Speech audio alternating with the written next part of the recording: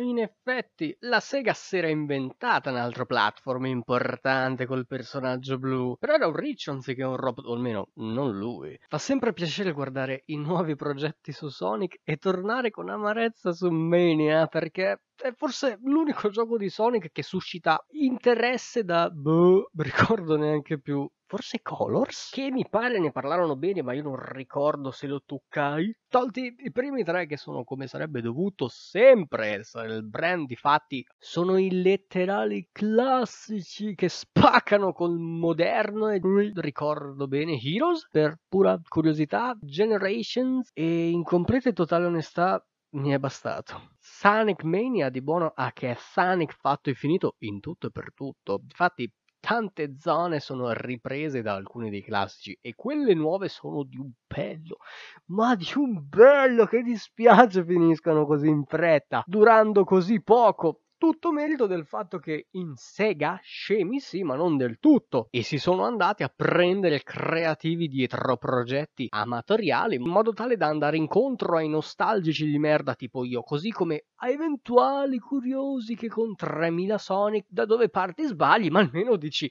col gioco che celebra il quarto di secolo ti puoi fare un'ottima idea. Così che poi vedendo gli altri puoi consapevolmente dire Mmm, che merda! Ma Migna, tra l'altro, non ricordavo neanche quanto abnormi fossero i livelli, ma proprio gargantueschi. Che ok dividerli in due sezioni, ma sono proprio biblici. Cioè, sia chiaro, eh, intendo nel senso più positivo possibile, perché la cosa migliore è continuare a girarli nel modo più veloce possibile, però non troppo, perché se vai troppo veloce c'è anche qualche scelta di level design molto punitiva. Ragion per cui è importante non esagerare, prendersela lentamente, con calma nella fretta, girandoti tutto quanto e trovi i livelli speciali, torni indietro, riparti svicolando tutto a dritta. Ma la trama?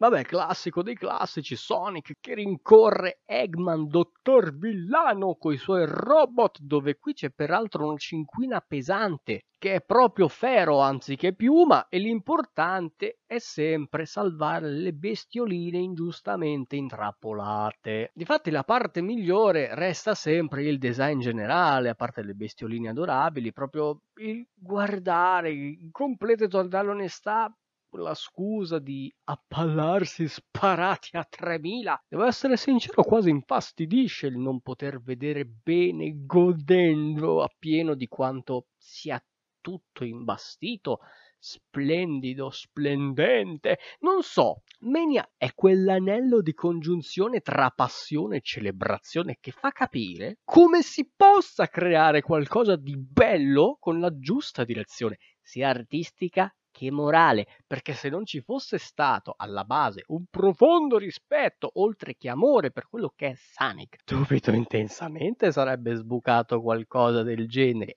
Anzi, sarebbe finito tutto schiantato in fiamme esploso pelato, tant'è che sono fermamente convinto che tutti gli omaggi, festeggiamenti, anniversari e vattene a pesca di qualsiasi cosa dovrebbero prendere e imparare da qui. In primis le aziende studi chi cazzo è che anziché abbattere proprio eutanasia di progetti amatoriali mettendo sulla sedia elettrica i vari team, dovrebbe prendersi questa letterale forza lavoro e impiegarla per il proprio bene e quello di tutti. Vabbè, chiaro, quando è obiettivamente di qualità, certo, un minimo di controlli dovranno pure averlo. Dico nell'ottica di opere dal valore lapalissiano, anche sì, oddio, considerando l'abisso che c'è tra Sonic classico e Sonic moderno, dubito ci voglia poi troppo, ma considerando gli standard della fanbase, alla peggio uscirà sempre qualcosa di buono.